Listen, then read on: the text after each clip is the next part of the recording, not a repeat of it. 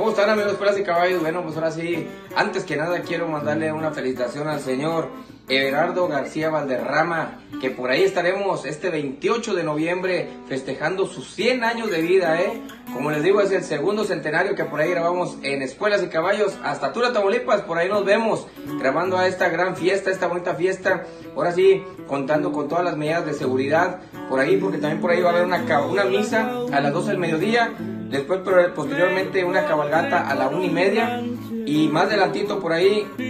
lo que es ahí en la Quinta San Jorge, habrá una comida a las 3 de la tarde, donde por ahí estará la música del grupo Potencia Norteña en esta rica comida, contando con, ahora sí con las medidas de seguridad, este por ahí, que con cubrebocas, con lo que es este, la gel antibacterial, y pues bueno, festejando 100 años del señor Everardo García Valderrama. Ahí nos vemos en Tula, Tamaulipas, este 28 de noviembre grabando esta bonita fiesta familiar. Y arre porque nos alcanza.